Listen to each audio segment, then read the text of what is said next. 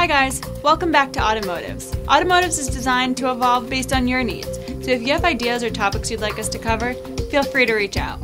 Today's segment is on women's role in the car buying process. Did you know that women influence 84% of automotive purchase decisions and buy 54% of cars?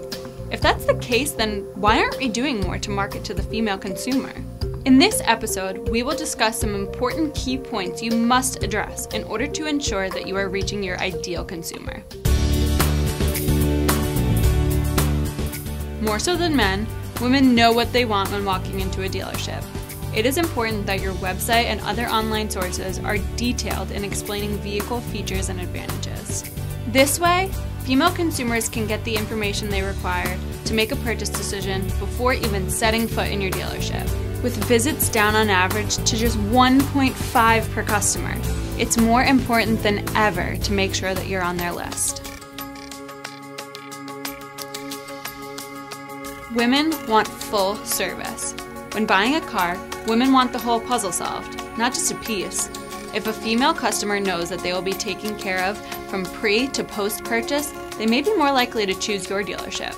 Since 65% of women request service work for their vehicles, it is important to foster purchase leads by boasting your service department for business after the sale. Remember, each woman is unique. When marketing to the female consumer, it is important to remember that not all women have the same needs and priorities in their vehicle purchase. While many may assume that women want safe, comfortable, maneuverable vehicles, truck and SUV sales are actually increasing among female consumers. Make sure you're asking your customer of their preferences rather than fitting them into a one size fits all category. Take it from me, no one likes to be generalized, especially when they might be spending thousands of dollars at your dealership.